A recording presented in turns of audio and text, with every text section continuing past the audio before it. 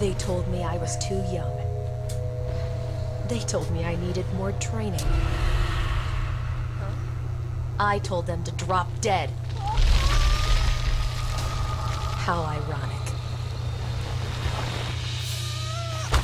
I don't know how I survived that fall. Something strange must have happened.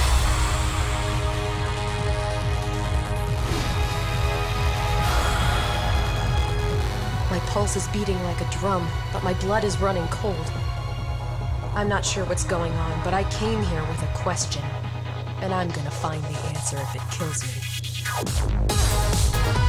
Welcome everybody to Crypt of the Necrodancer, the acclaimed rhythm-based roguelike. As you saw there, it is still in alpha. I've already made a bunch of progress into this game, but why don't we jump right in with the tutorial. You press the R keys If on I'm the beat to survive move. this, I'll have to remember what Uncle Eli taught me. Uncle Eli is not in this game as of Every yet. opponent has a predictable pattern, he said. Learn that pattern and you won't suffer so much as a scratch. We have a dagger. If you try to move not on the beat, this happens. Bad things. It's not good not being able to move, so try to stick with the beat. That Gold- green guy didn't move at all, and this blue one just moves up and then down, so if I attack him from the side, I'll never get hurt. Gold is generally a good thing to have. A broadsword, not as sharp as I'm used to, but I bet it can still take out three enemies in one shot. Use the shovel to dig things. Looks like those skeletons put their hands in the air when they're about to jump. If I'm in the way when they move, it's gonna hurt. They put their hands in the air when they just don't care.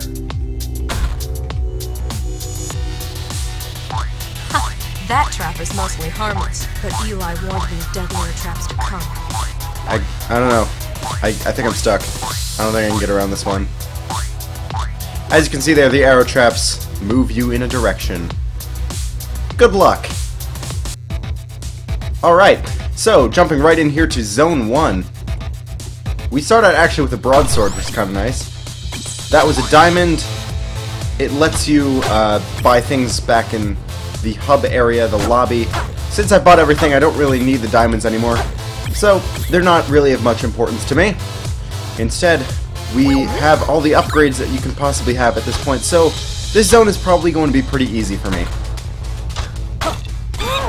Oh yeah, that's what the monkeys do. Ow.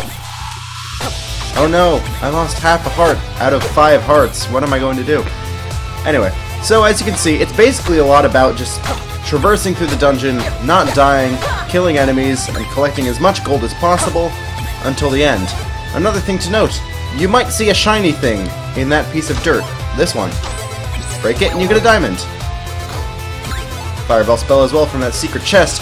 Uh, throughout these floors, which are, of course, randomly generated, you might find... Oh, hello. You might find little hidden rooms. Those could have hidden chests inside, so it's probably a wise idea to just look into each of those rooms when you find them, and just try to see what you can get.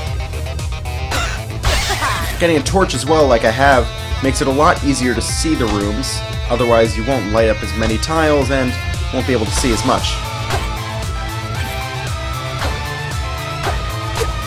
There we go. Each chest color has a different meaning. Oh, by the way, this is a new trap. Stepping on this one, tempo up. Not so bad. Alright, so red chests can give you food and use items. Purple chests can give you spells and scrolls and rings. Whoops. And black chests give you weapons, like this blood dagger. Now, I don't think I'm going to need the blood dagger. I prefer the extended range of broadsword. But, uh, the point of different items is that they have different ranges, and the point of different classes is that they have different effects. This is the shopkeeper. He sings. He's cool. Don't mess with him. Anyway, okay, so regular weapons just do really nothing special. They damage enemies. This dagger up here is Blood Dagger, so it's red, and what it means is that every certain number of enemies you kill, you'll get half a heart back. Pretty nice if you don't have much health. Anyway, on to the next floor. There are three floors per zone. This video is just going to be about Zone 1. As you can see, this shop does not have a door, so we're going to need to use our bomb to get in there. See what we can buy. Ooh, this obsidian armor is very nice. Right here. Obsidian is a material that increases power along with your current groove chain. So as you kill enemies without messing up, or misstepping, or missing a beat, or etc., you build up your groove, and that's going to increase your coin multiplier as well as power up any obsidian items that you have. Meaning this armor is going to get stronger if we get in the groove. These as well are ballet shoes, which go very well with obsidian items. Essentially, ballet shoes make it so that when you kill an enemy here, let me just get my groove up. As you can see, the flashing lights are now happening. Ballet shoes mean if I stop moving, it's not going to decrease my groove, meaning that my armor is pretty much going to be very, very powerful, and basically guarantees my win for the rest of this run. How useful. Ah, yeah, look at that chest. Something seems suspicious about it to you? Go up next to it, and oh no, it has teeth! Luckily, it still drops an item. This is a longsword. Longswords have an extended range. Instead of doing to the left and right, they will go out in front of you. I personally prefer the longsword over the broadsword just because I like to be able to hit an extended range in front. Hey, look, a bomb. How nice. Look at all these traps down here. Those traps that look like little, well, trapdoors. Basically, well, one, they drop you to the next floor, which isn't bad for speedruns, but they also drop you in the middle of a bunch of tough enemies and bosses, meaning that it could be your last trip to the next floor for that run.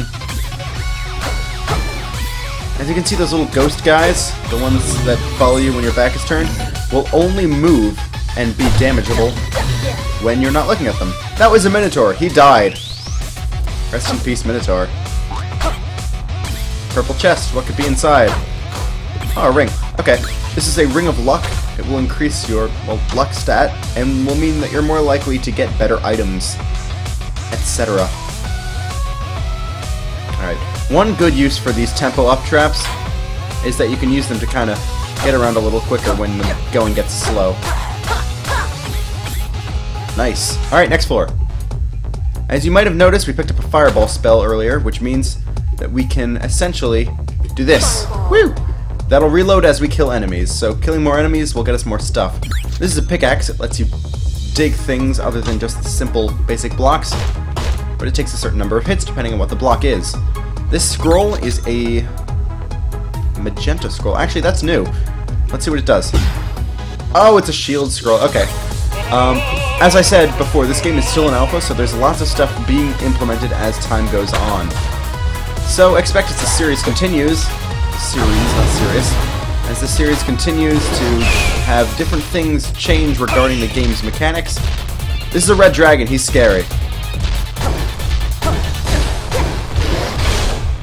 Do not touch the fire. It will basically do a bunch of damage. Me with my 5 hearts and obsidian armor, actually I'm not too scared about it, but otherwise you want to learn how to kill those things efficiently without getting hit. Otherwise, your runs will be getting cut short quite often. As you can see, our spell is recharged. This guy on the floor here with the little horns is a spike trap, and it'll basically just do damage to you if you step on it. It actually does quite a bit of damage, so try to avoid those guys at all costs. Let's see what's in here. Anything? If you basically walk around the secret room, you'll get rid of the possibility of any secret chests still being there. Still being in there, rather. Red bats like those are, like that one right there, are especially, especially, blah, can't speak today, especially annoying because they move on every beat, meaning that there's no easy way to line yourself up unless you happen to be moving in sync with it. I'll explain what that means when we find another one. Um, anything else in here? Oh, hello. Dude, I forgot how powerful the coin multiplier was. Wow. Uh, when you're playing in hardcore mode, which we'll get into later in the series, basically none of your lobby upgrades work. You start with two hearts, all the item pool is unlocked, and your coin multiplier only goes up to three. In this case, it goes up to four, which means I'm getting a lot of money, which I am quite pleased with. Alright. Ooh, ooh. Okay, glass longsword. Glass items are interesting in that they do incredible amounts of damage, but as soon as you get hurt, they break and become basically as useful as your first dagger in the game. Luckily I have this holster so I can keep my original sword for later, and since this is the last regular level in the zone, we can go on to the boss. Conga line in progress. Hello. As you can see, we're missing every seventh beat. Oh.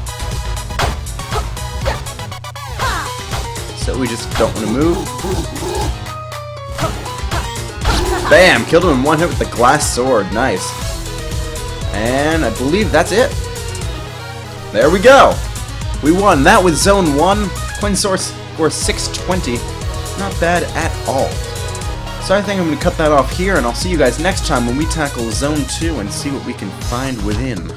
Thanks for watching.